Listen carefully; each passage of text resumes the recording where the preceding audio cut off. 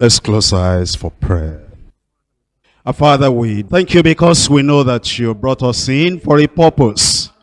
And we're praying that that purpose you continually fulfill in our lives in Jesus' name. We pray that you open our eyes to the scriptures. Help us to understand what you have called us to do, what you have called us to be.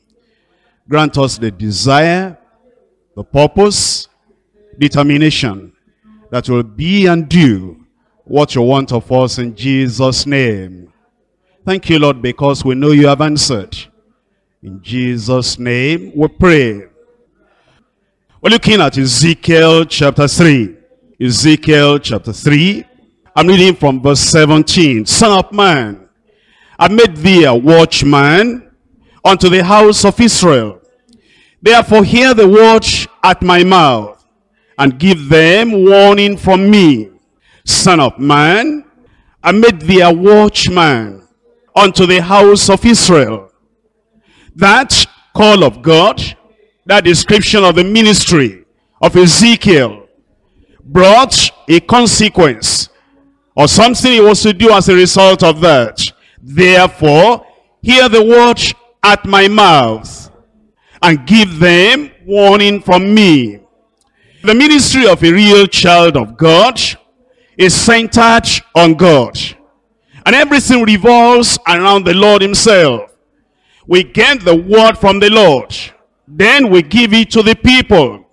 Actually, you will see here that the title given to a leader, Christian leader, a worker, Christian worker, is that of a watchman.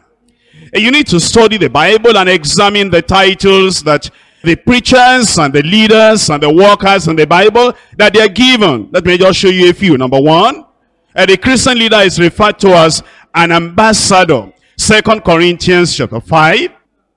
Reading there in verse 20. There it says, Now then, we are ambassadors for Christ. As though God did beseech you by us, we pray you in Christ's stead, be ye reconciled to God. Number one then, we are ambassadors. And that carries a lot of meaning. Number two, we're referred to as elders in First Timothy chapter 5, verse 17. Let the elders that rule well be counted worthy of double honor, especially they who labor in the word and in doctrine. We're referred to not only as ambassadors, we're referred to as elders. Of course, you know we're referred to as fishers of men. Fishers, not just keepers of men, not just keepers of members in the church, fishers of men, reaching out in the sea of humanity and throwing out the net as well as the network and drawing souls into the kingdom. Matthew chapter 4 verse 19. And he says unto them, follow me and I will make you fishers of men.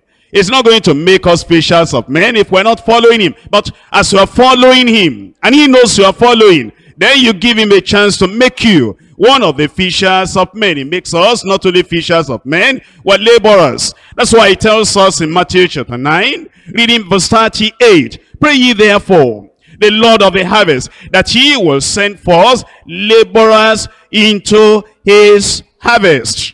We cannot then be in the work of the Lord and not labor. We cannot be in the work of the Lord and not sweat. Because that's the real calling that we have. He also refers to us as men of God, women of God. First Timothy chapter 6. First Timothy chapter 6. Looking at verse 11. It says here, But thou, O man of God, flee these things, follow after righteousness and godliness, faith, love, patience, and meekness. So then we are men of God, women of God too. But we're also referred to as the messengers of the church. In Second Corinthians chapter 8, verse 23. 2 Corinthians 8, 23. Whether any do inquire of Titus, is my partner, fellow helper concerning you, or our brethren be inquired of. They are the messengers of the churches and the glory of Christ.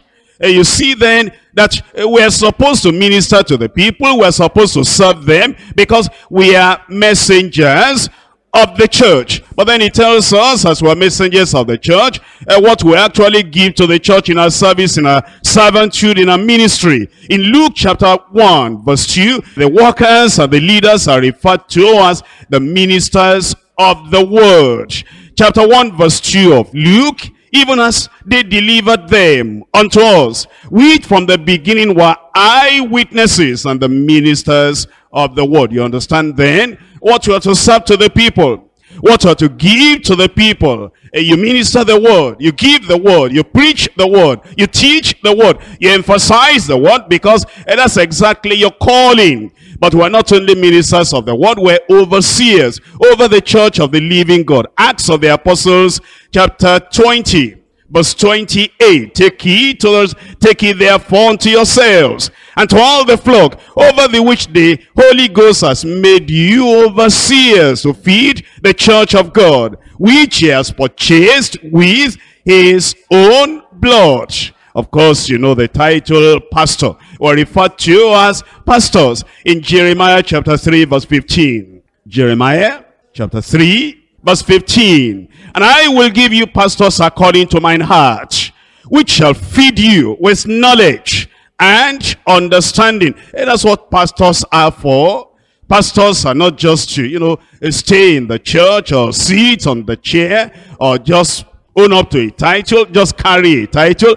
He say what you do is to feed the people of God with knowledge and with understanding. Of course, you know one of the primary assignments of the pastor is to preach. Therefore, the a worker or Christian leader in the church is referred to as a preacher. In Romans chapter 10, verse 14. Romans 10, 14.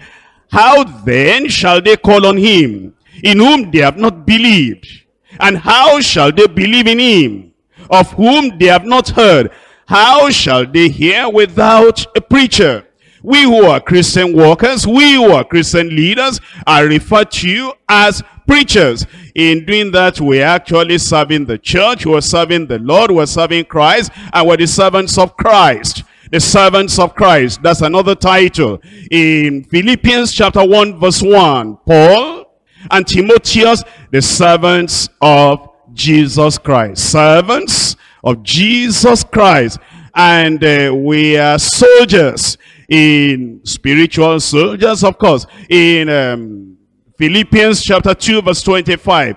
Yet I supposed it necessary to send unto you Epaphroditus, my brother, and companion in labor, and fellow soldier, fellow soldier, but your messenger, and he that ministered to my wants were soldiers, soldiers of the cross, and soldiers of the Lord. And were referred to as stewards of the mysteries of God, the secret things of the kingdom. The Lord delivers that unto us. It's been kept secret from the foundation of the earth. And we are the stewards that carry that thing to the people of God while they are waiting for the knowledge of the Almighty. First Corinthians chapter 4 verse 1. First Corinthians 4 1. Let a man so account of us as of the ministers of Christ, stewards of the mysteries of God. Stewards of the mysteries of God. And um, another title related to what we said before, pastoring and preaching, is that of teaching. We're referred to as teachers. Teachers. Isaiah chapter 30. Isaiah chapter 30 verse 20. And though the Lord give you the bread of adversity, and the water of affliction. Yet shall not thy teachers be removed into a corner anymore, but thine eyes shall see thy teachers. Uh, the Lord here was promising the children of Israel that although he may punish them in other ways and by other means, and even though he might give them the bread of adversity and the water of affliction to drink, but he was going to show on favor to them. He was going to allow the teachers to remain with them. Because it's as the teachers teach them the word, faith comes by hearing, hearing by the word of God. They'll be able to understand if they need to repent, seek forgiveness, have faith, and then plunge into uh, the, the mercy of God and the goodness and the grace of God. And then yes, he said in verse 21, shall hear a word behind this saying, this is the way walking. Each when he shall turn to the right hand, or when he shall turn to the left were then teachers of the word, but we're also called witnesses. We have witnessed the goodness of the Lord and the peace that God gives. And we have witnessed that he wants to give it to other people. The Holy Ghost comes upon us. And then we become witnesses of the Lord. Acts chapter 1 verse 8. But he shall receive power. After that the Holy Ghost has come upon you. And ye shall be witnesses. That's a title. Witnesses unto me, both in Jerusalem, in all Judea, in Samaria, and unto the uttermost part of the earth. And of course, very simply stated, we are referred to as workers. Christian workers. In Second Corinthians chapter 6, verse 1. We then, as workers together with him, beseech you also that ye receive not the grace of God in vain. But I read to you that we also watchmen. Isaiah chapter 62 verse 6. Isaiah chapter 62 verse 6. It says, I have set watchmen upon thy walls, O Jerusalem, which shall never hold their peace day nor night. Ye that make mention of the Lord, keep not silence. It makes us watchmen. And you see the various titles were referred to, of which that we bear ambassadors, elders, fishers of men, laborers in the kingdom of God, men and women of God, messengers of the church, the ministers of the word, overseers too, pastors, preachers, servants of Christ, shepherds, soldiers, stewards of the mysteries of God, teachers, witness, worker, watchman. We're concentrating on one title today. But you need to understand, each of these titles reveals an aspect of our responsibilities. And we need to pray for grace to be and to do all that God appoints and all that God expects of us. We're looking at the title today, The Watchman. And the title of the message is The Ministry and the rewards of spiritual watchmen. The ministry and the rewards of spiritual watchmen. And we come back to Ezekiel chapter 3. Ezekiel chapter 3. There we're reading from verse 17. I break the message to three parts. Number one, the responsibilities of spiritual watchmen. As watchmen, we have responsibilities. And of course, as ambassador, we have responsibility. As elders in the church, eh, there are some responsibilities attached to that. As fishers of men, throwing the net into the sea of humanity, there are responsibilities attached to that. As laborers in the harvest, farming, cultivating, bringing in harvest into the kingdom, there are responsibilities attached to that. And of course, as men and women of God, carrying yourself with dignity and honor, with majesty, the glory of God, reflecting the very goodness and the greatness of God. There's responsibility attached to that. And as messengers of the church, bending low, humbling ourselves, being able to wash the feet of the believers of members of the church, just messengers and servants. What great responsibilities are attached to that. What do you say about the minister of the word?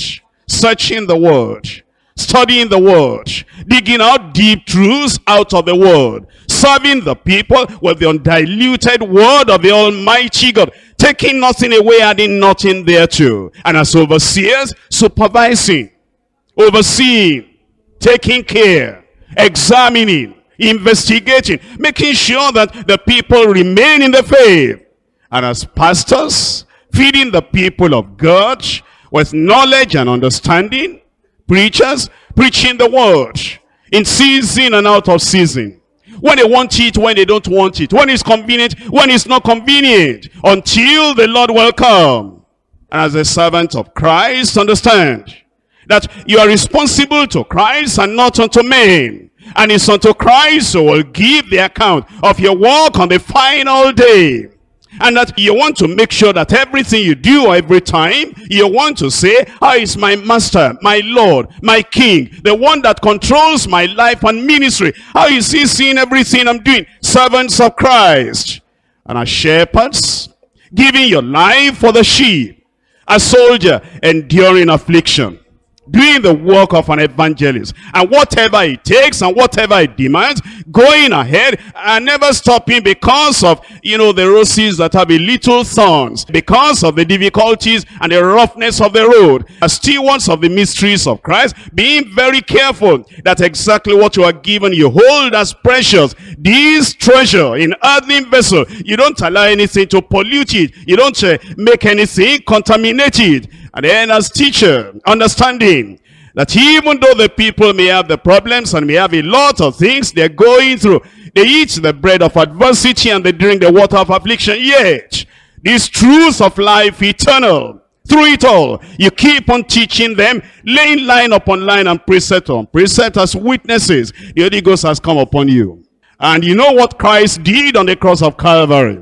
And then you're witnesses that he died for everyone. And he died for the people you're witnessing to. And as workers, you work. As workers, you work. You don't just carry the title and bear the card. You work.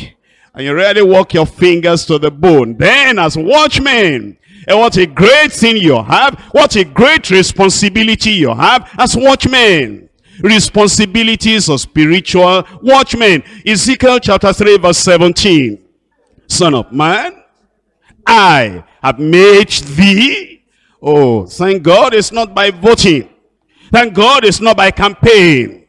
Thank God it's not by rallying people around us politically and then promoting ourselves. I'm now so and so. I'm now a watchman. Son of man, I, Almighty God talking to Ezekiel, I have made thee a watchman unto the house of Israel. Therefore, hear the watch at my mouth and give them warning from me.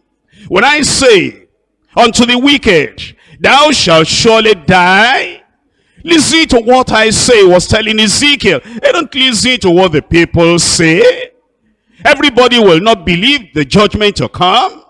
Everybody will not be interested to hear that judgment is going to come, that the wicked shall pay a death penalty for his wickedness. But when I say unto that wicked man, that wicked woman, Thou shalt surely die. And thou givest him not warning, nor speaketh to warn the wicked from his wicked way, to save his life. The same wicked man shall die in his iniquity, that they have nobody to preach to them is no excuse. They will die in their iniquity. Then it says, but his blood will I require at thy hand. Yet, Ezekiel, yet, brothers and sisters, if thou want the wicked, and he turn not from his wickedness, you know, sometimes uh, when you preach and preach and preach and you feel that the people are not listening, oh, that's all right. You're servants of Christ. You're stewards of the mysteries of God. And we're unto the people, unto some, the savor of life unto life. And we're unto others, the savor of death unto death. It doesn't mean everybody is going to get converted. And it's not their conversion, it's not their reaction or response that makes us to preach or not to preach. Say it. Declare it. Tell them, your calling is from God. Son of man, I've made you a watchman over the house of Israel. Tell them, if they hear, they are saved. If they hear not, verse 19. If thou want the wicked, and he turned not from his wickedness, nor from his wicked way. He shall die in his iniquity, but thou hast delivered thy soul. And again, verse 20, when a righteous man does turn from his righteousness and commit iniquity, and I lay a stumbling block before him, he shall die because thou hast not given him warning. He shall die in his sin and his righteousness which he has done shall not be remembered. But his blood will I require thine hand. Nevertheless, if thou want the righteous man and the righteous sin not, and he does not sin, he shall surely live because he is warned and thou hast delivered thy soul. Eh, you can see there the responsibility of the watchman. You hear the word from the Lord. No matter where you are, no matter the condition of the people, no matter the reaction of the people, no matter the response of the people. And if you want the righteous man, and you tell him of the danger of backsliding, and you tell him to stay and to remain at his post, in the position wherewith that the Lord has called him to by the cleansing and the calling of the blood of the Lamb. Then He remains righteous. On a final day, he is saved and you are rewarded. But if you do not give them the word, because of one consideration or the other, then the judgment of God comes upon you. And you have to decide that which one will you rather have? If you tell the truth, there may be some people that will not appreciate the truth you have told them. But, you know, the frowns of men, they are nothing in comparison or the wrath of God. If you do not tell the truth, if you do not preach the word, if you do not give them the totality of everything you have from the mouth of the Lord, you face the wrath of God. What's the frown of men? In comparison with the wrath of God when it says that God is a consuming fire.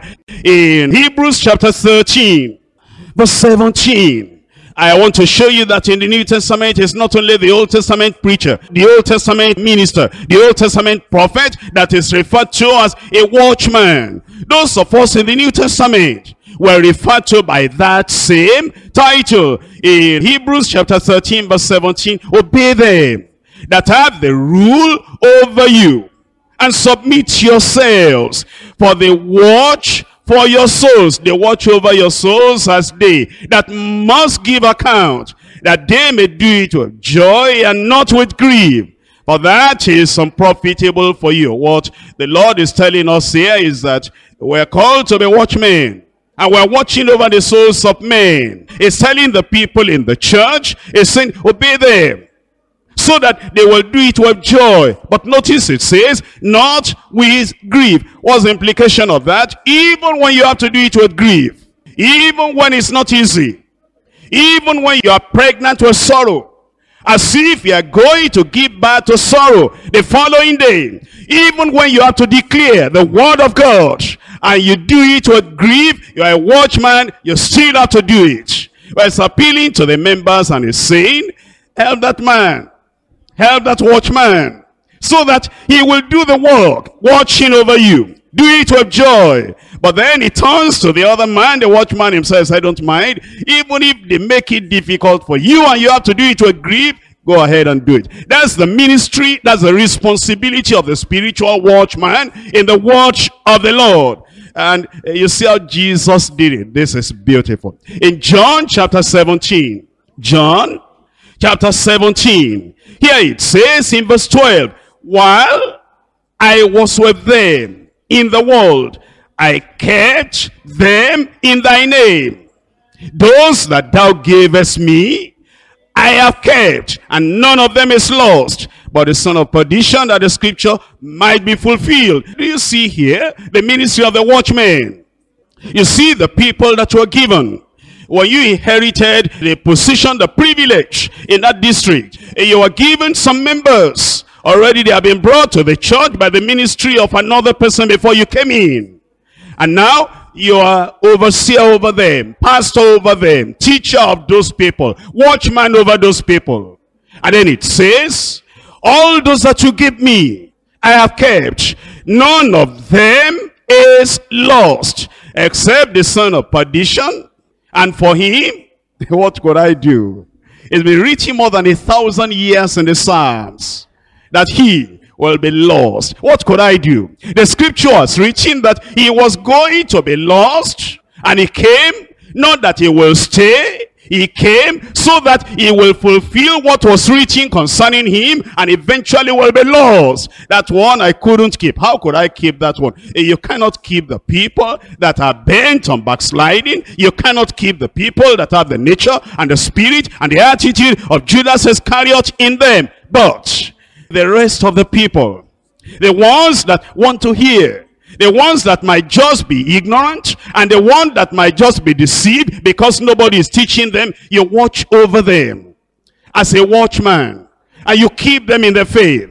By all the means of grace you can have, you can marshal all the gifts, everything the Lord has given you. You see how Jesus did it. Let me show you how Paul the apostle did it in Galatians chapter 2.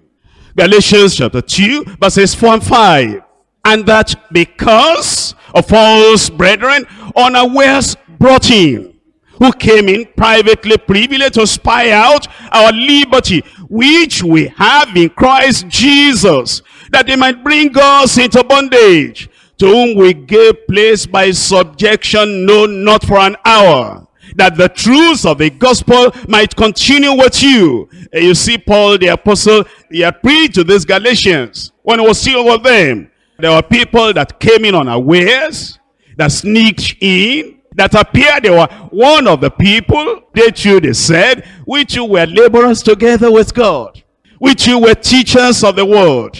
With you were ministers of the word. With you we have a calling. With you we agree with you like Tobiah Sanballat. They came in and he said, hey, we just want to get the wall built along with you. And Paul the apostle said, we gave them not a chance, not an hour. And he said, why did we do that? Why did we keep them away? Why did we have sharp eyes at the eyes of an eagle? So that the truth of the gospel might continue with you. That's the responsibility of a watchman. In Acts of the Apostles chapter 20. Acts 20 verse 26. Wherefore, I take you to record this day that I am pure from the blood of all men. For I have not shunned I have not neglected to declare unto you all the counsel of God. He was talking to the elders from Ephesus. He had gathered them together. Look at verse 17. From Miletus, he sent to Ephesus and called the elders of the church. After calling them together, he said, you know what? Take it yourselves. And to all the flock in verse 28 over the with the Holy Ghost has made you overseers. Feed the church of God. Do it. Feed the church of God, which he has purchased with his own blood. Because, verse 29, for I know this, that after my departing shall grievous wolves enter in among you, not sparing the flock. Also of your own selves. Ah. So he didn't just start yesterday. So at the time of Paul, it was there. Among you shall arise men speaking perverse things. What's the purpose? Tell me in verse 30, the last part. Tell me out loud. To draw away disciples after them. So they have been doing it for a long time. With lying, with cajoling, with deception, with false promises, to draw away disciples after them. Therefore, watchmen, watch. Therefore, leaders, watch. This watching is different now. It's different from your personal watching. Watch and pray lest you fall into temptation. That's personal. Watch and be sober. The Lord is coming. That's personal. Watch that she may be ready, for ye know not what hour, what time the Lord does come. That's personal. Here he's talking to ministers. Here he's talking to overseers. Here he's saying that the Lord has made you overseers over the church of the living God. Therefore, watch. Why are they watching? Because among you they shall come people that will try to draw away disciples after themselves. Watch and remember that by the space of three years I cease not to warn everyone night and day with tears. And now, brethren, I commend you to God and to the watch of his grace, which is able to build you up and to give you an inheritance among all them that are sanctified. And you see then the responsibility we have, and that is that we ought to be watchmen, watching over the people. Isaiah chapter 62. Look at that again. Isaiah chapter 62, verses 6 and 7. I have set watchmen. Almighty God has done it himself.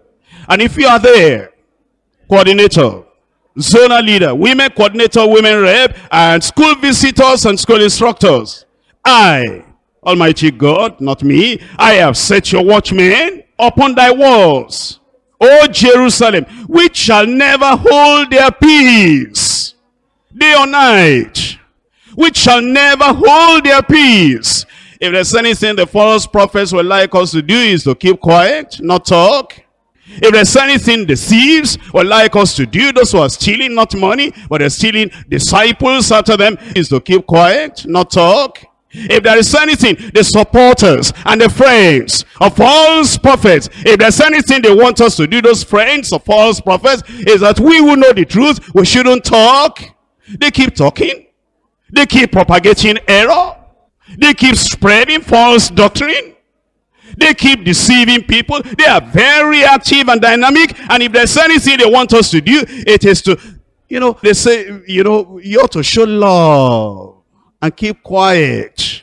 And if I'm stealing your child away, you ought to show love and keep quiet. If I'm even going to brainwash your wife and take your wife away into false doctrine, and snatch your wife away into another fellowship, you ought to show love and keep quiet. If I'm going to take away all those people you labored on, all those people you sweated about, all those people you poured your life into, all those people you trained and discipled, if I'm going to take them away, you ought to keep quiet and you ought to show love and be silent. That's what they tell us. But they are not quiet. Servants of Satan, they are not quiet. Those who are stealing disciples from the people that have labored, they are not quiet. And so, if they tell you that you ought to be quiet while they take your children away, while they take your members away, that's not what the Lord says.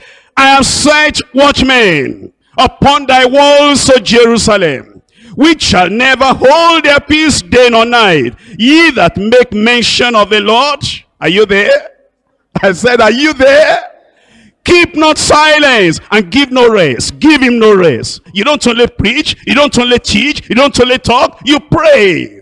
You double your prayer. You intensify your prayer while you increase your preaching. You talk to men, you talk to your own disciples, you talk to your own members, then you go on your knees and you pray for them. Give him no rest till he establish until he make Jerusalem a praise in the earth. I'm sure he will do it. I said he will do it. You see, our responsibilities are clearly stated in the word of God. These responsibilities were not appointed by men. They were appointed by God. And there is no personal consideration or personal weakness that will make us to neglect our God-given duty. Neither should we concentrate on easy tasks and then overlook the seemingly difficult, unpopular tasks.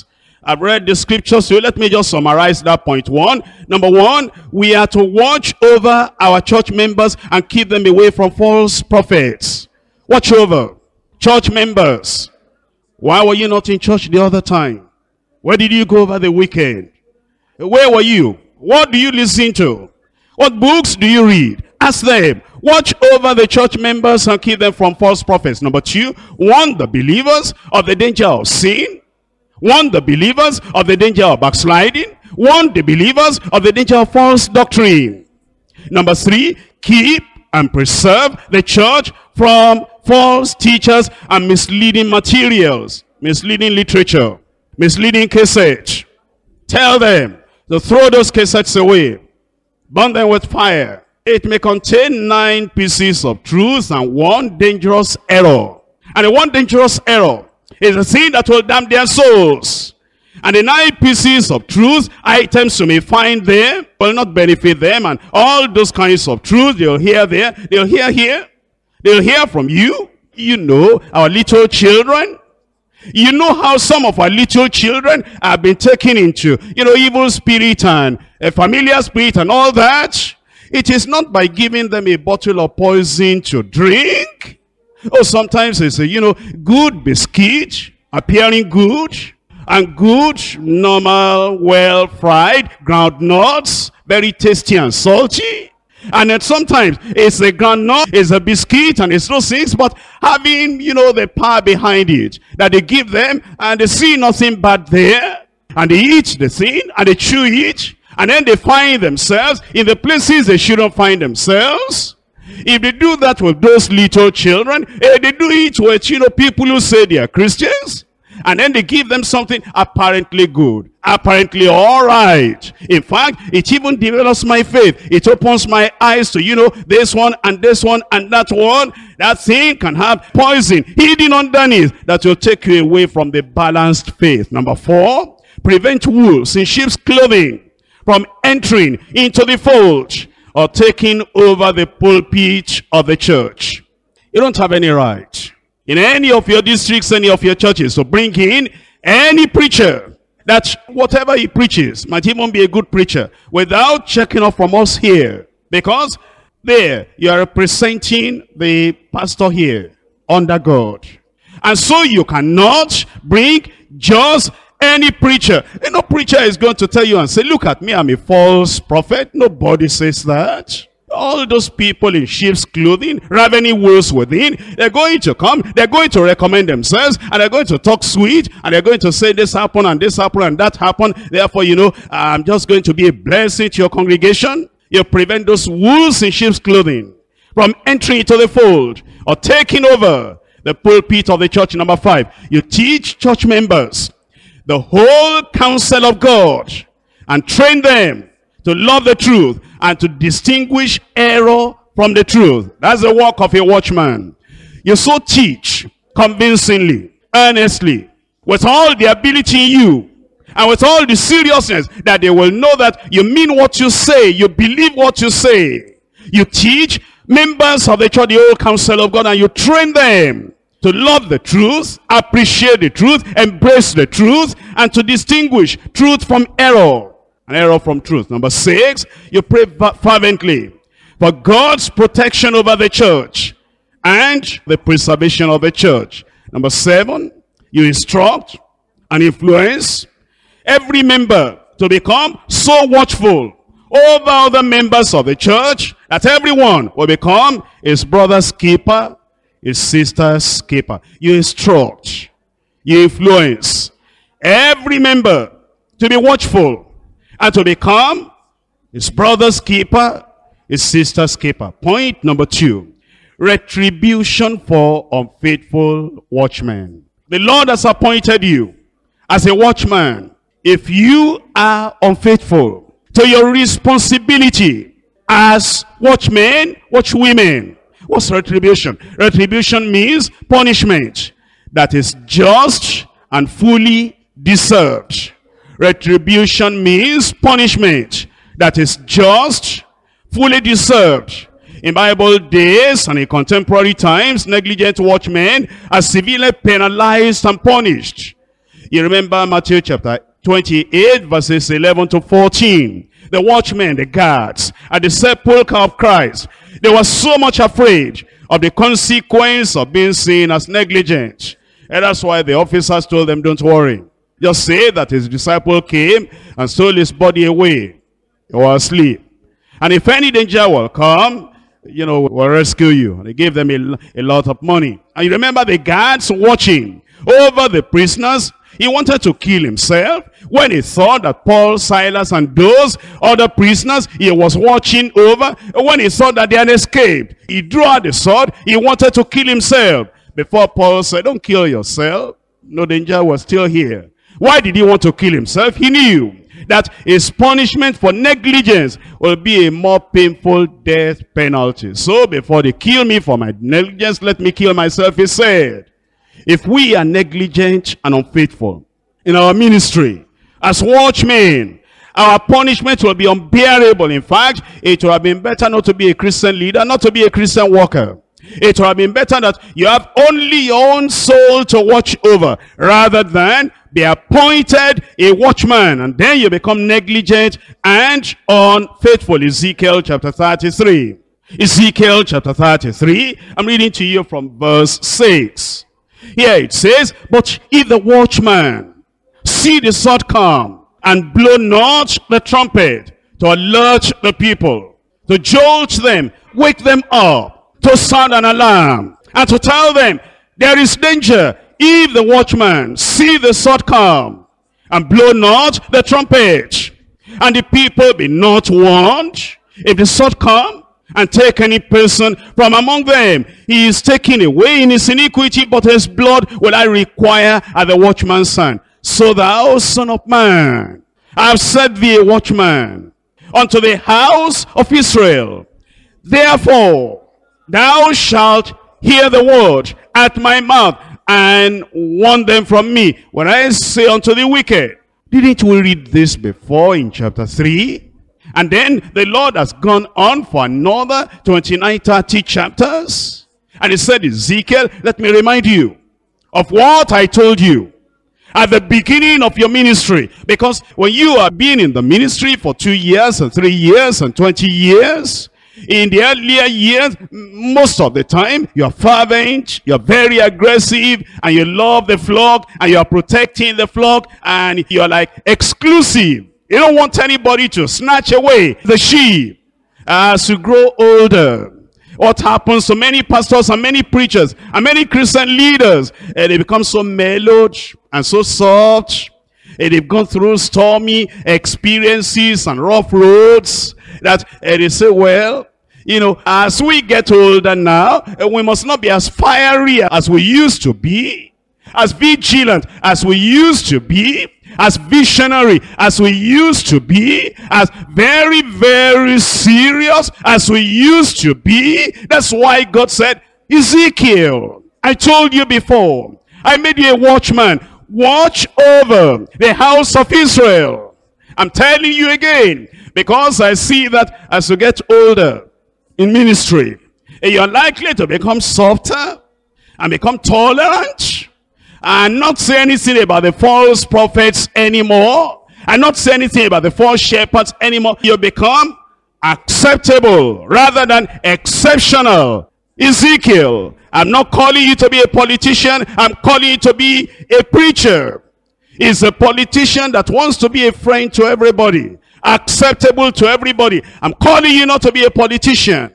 I'm calling you and not to be friend everybody, be acceptable to everybody. Become exceptional and stand where you used to stand. Verse 8, when I say unto the wicked, O wicked man, thou shalt surely die if thou speak not to warn the wicked from his way that wicked man shall die in his iniquity, but his blood will I require thine hand nevertheless, if thou want the wicked of his way to turn from it. If he do not turn from his way, he shall die in his iniquity, but thou hast delivered thy soul. And that's the retribution, that's the punishment that comes upon the watchman that becomes careless, that becomes negligent, uh, that wants to be a politician. He wants us to love him here, and he wants the false prophet there to love him. He wants the people of God to accept him as part of us. He wants the other people to also say, well, you know, I'm just for everybody. Anywhere they're calling the name of Jesus, anywhere they're, you know, glorifying the Lord and they're praying. After all, they're not using juju medicine, false doctrine, no false doctrine. I leave that to God. I'm not a judge. I just love everybody. My friend, you're a politician. In Jeremiah chapter 23, Jeremiah chapter 23, I'm looking at verse 2. Therefore, Thus says the Lord God of Israel against the pastors that feed my people. Ye have scattered my flock and driven them away, and I'm not visited them. You're so busy. City life. You're so busy running after money. You're so busy. You do not understand that your work as a watchman, your work as a preacher, your work as a teacher of this eternal truth takes preeminence, priority, prominence over any other work you have to do. And if you have to make a choice, which one to drop, which one to decrease, which one to lessen, is the other one that you are running after. That's the one you will lessen. This one. You increase your effort. Especially at a time like this. It says, has not visited them. It said, behold, I will visit upon you the evil of your doings, says the Lord. In Galatians chapter 1 verse 6, Galatians 1, verse 6, I marvel that ye are so so removed from him that called you into the grace of Christ unto another gospel. Paul the apostle had been away for some time from the province of Galatia. He's gone to other places. As he heard about them, he saw that uh, they had been removed from the centrality of this gospel truth. And he wrote to them, he said, I marvel that you are so soon removed from him that called you into the grace of Christ unto another gospel which is not another. But there be some that trouble you and will pervert, will destroy, will turn upside down the gospel of Christ. But though we, or an angel from heaven, we, or an angel from heaven, preach any other gospel to you than that which we preached unto you, let him be accursed. I'm surprised some people that don't know the Bible.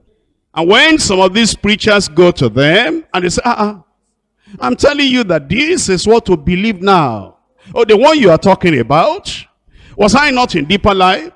Was I not one of the people that taught those things? And I am now telling you that that victory over sin, that sanctification, uprooting of the Adamic nature, I'm not telling you there is nothing like that. Ah, How about, sir, you taught us, forget it. I taught you before. And you used to teach us, because I remember what you said before, that when somebody is in Christ, a new creature in Christ, saturated with the word of God, Christ in him, the Holy Ghost in him, that Satan and Christ cannot stay in the same heart at the same time. And that the Holy Ghost, Holy Spirit, and evil spirit cannot dwell in the same heart the same time. Sir, I heard you said that before. Yes, I taught you that before. But that was Deeper Life platform. I'm telling you now that you can be saved and sanctified and baptized in the Holy Ghost and still have evil spirit within controlling your life, manipulating your life, manipulating your marriage. And because these people know next to nothing, although they come to deeper life, or they say, well, since he taught us before, and he is now teaching us this one now, he has increased in knowledge. He has graduated. You know, he's not just with us here. He's gone higher. Is a higher knowledge. He's teaching us now. That's why Paul the apostle said, listen here. Though we, Paul, Timothy, Silas, all the rest, though we, or even an angel from heaven. That's greater than bishop. That's greater than archbishop. That's greater than doctor so and so. We're talking of angel from heaven.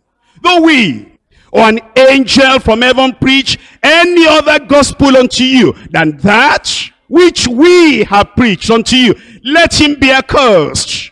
As we said before, so say I again now, that if any man, any man, preach any other gospel unto you than that ye have received, let him be accursed. Thank God we can stand on this Bible. Can we stand? That's the word of God. You know when somebody is deceiving you. You know when somebody reads the word. And you know when somebody puts the curse upon himself. Eh, Paul was not just cursing other people. He said any man. He said angel from heaven. He also included himself. He said, oh we, who came to you before, if we turn around and we change the word, he said, we or any other one, if we change it, let's be accursed. Uh, you have to watch over the lives of people. In First Kings chapter 20. First Kings chapter 20. Verses 39 and 40. And as the king passed by, he cried unto the king and he said, Thy servant went out into the midst of the battle. And behold, a man turned aside and brought a man unto me and said, Keep this man. If by any means he be missing, then shall thy life be for his life. Or else thou shalt pay a talent of silver. And as thy servant was busy here and there, he was gone. I was told to keep the man. Watchman, watchman. Told to keep the man. But as I was busy here and there, do you watch over your district? Do you know who is there, who is not there? Do you know how many of your members are roaming about to this place and that place? Do you know how many people are still there, sitting on your church pew, but yet they have gone. In the spirit, in the heart, they have gone, although physically they are there. As the servant was busy here and there, he was gone. And the king of Israel said unto him, So shall thy judgment be, thyself has decided it. We need to be very careful. In Second Chronicles chapter 19. Second Chronicles chapter 19. There are times that uh, sometimes uh, there are some people that do not know the meaning of their own calling. And they do not know what the Lord has called them to. And they will be there in our church. And they will be the tale bearer going to tell them this is what they preached, this is what they said. And those deceivers will be giving them handbills and tracts and saying, don't mind them. That's the way the pastor feels. But we know our calling. But since you are not joining us, you can still help us.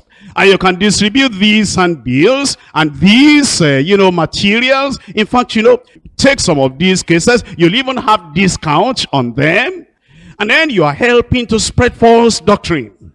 I'm telling you, as sure as the word of God is true, I'm telling you, as sure as this word of God will never pass away, if you do that, and you bring false doctrine, you say you are there, you say you are still with the people of God, and you are the propagators and you are the helpers of evildoers, the judgment of God will be upon you without any shadow of doubt. In Second Chronicles chapter 19, Second Chronicles chapter 19, verse 2, and Jehu the son of Hanani, the seer, went out to meet him. And he said to King Jehoshaphat, Shouldest thou help the ungodly? Jehoshaphat, good king, should you help the ungodly and love them that hate the Lord? Therefore, is wrath upon you from the Lord. You see, if you don't know your calling, and you think that you are there, but you are not stable. You don't know where you stand. And you may not be the propagator and the preacher of that evil thing, but you are the go-between. You are the bridge between the false prophets and the people who are still in here. And you are the one drawing them away, telling them how they will be deceived. If they are lost, we have done our part.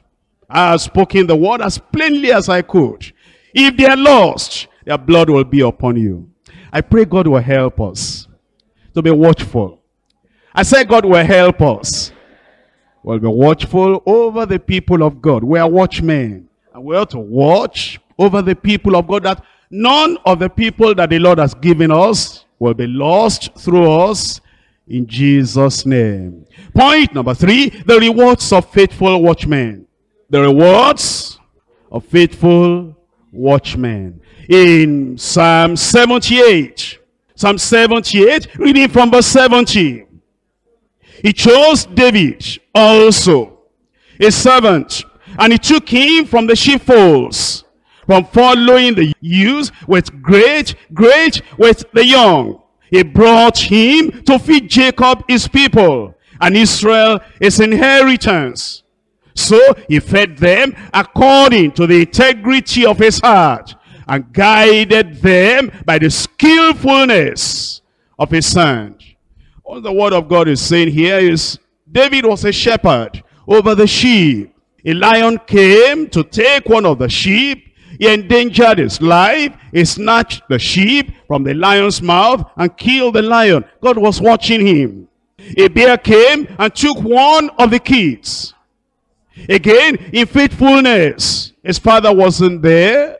And if he had told his father, I didn't want the lion or the bear to kill me. I felt that I was more precious. I didn't want to endanger my life. I felt I was more precious than 10 animals, 10 sheep. That's why I left them and I ran away. The father will not rebuke him, but he loved the sheep so much that he endangered his life.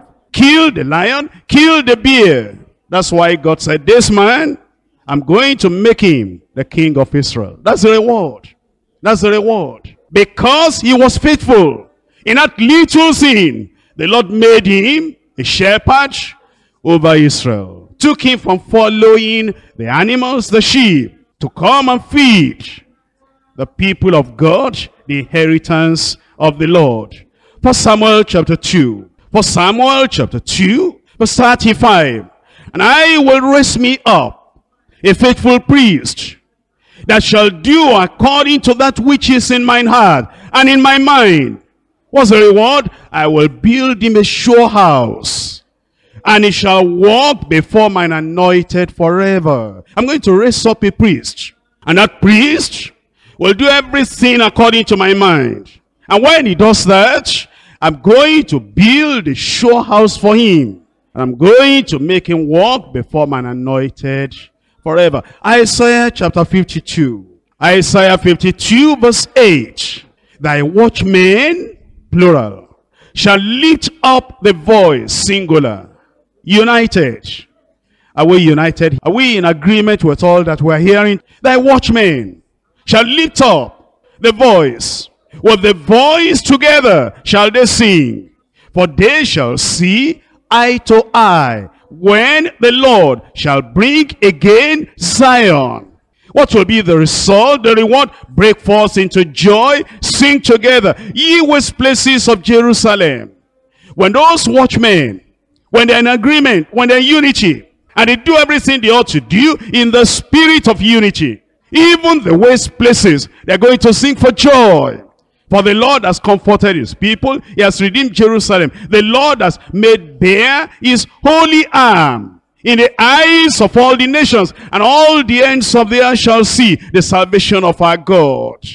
If the watchmen will be in agreement and they watch and they're faithful and they're vigilant and they all agree together and they keep the people of God, it says the reward is going to be, I'm going to expand, extend their coast, and they're going to be able to reach out to the ends of the earth, and the ends of the earth shall see the salvation of our God. First Corinthians chapter 3, verse 14. First Corinthians 3, verse 14. If any man's work abide, which he has built thereupon, he shall receive a reward. If our work abides. After the storm is over. After false prophets have come and gone. If we're able to keep the people of God in the fold. And we keep them in the center of the will of God. And the wolf does not devour them. And false prophets do not snatch them away to make them disciples and to give them empty positions. If we keep the people if any man's work abide, which he has built thereupon, he shall receive a reward. I pray you receive a reward.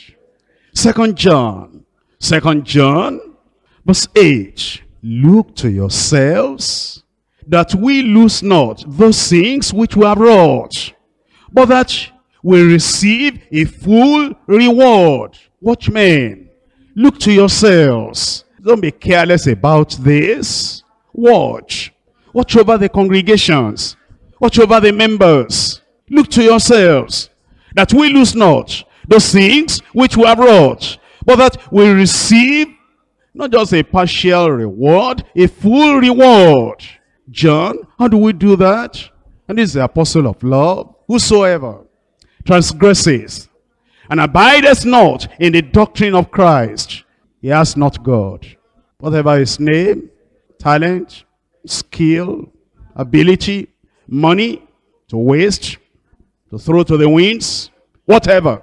Anyone, whosoever transgresses and abideth not in the doctrine of Christ, he has not God. He that abideth in the doctrine of Christ, he has both the Father and the Son. If there come any unto you, and bring not this doctrine, receive him not into your house. Neither bid him Godspeed. For he that biddeth him Godspeed is what? Is what? Partaker of his evil deeds.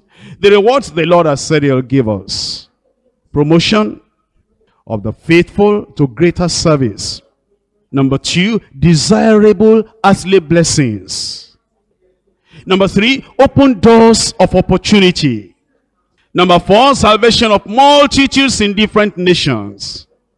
Number five, exalted position in the millennium. Number six, full rewards here and hereafter.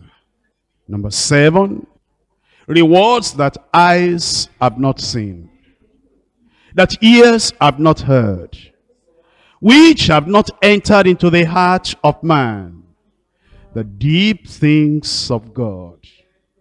How I pray that God will help you to be faithful. And in this life, God will bless you.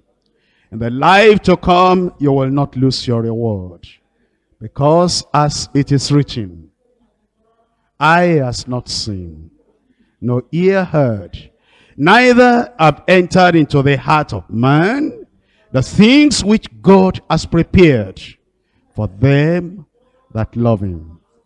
May God help you to be doers of the word and to go out with the zeal of the Lord consuming you. And because you care for the Lord and for the church of the living God, the part of the church in your area, under your supervision, under your leadership, will not be torn apart, will not be scattered, will not be thrown to the roaring lion. Let's rise up and pray. Watchman, how are you watching over the flock? Christian Walker, how are you watching over the members under your leadership? Are you silenced already? You don't want the false prophets to hear that you are taking your stand for the truth. You want to win their favor and have the wrath of God upon your life. Take your stand. The church of God is precious. Do everything you can do to keep them faithful to the end.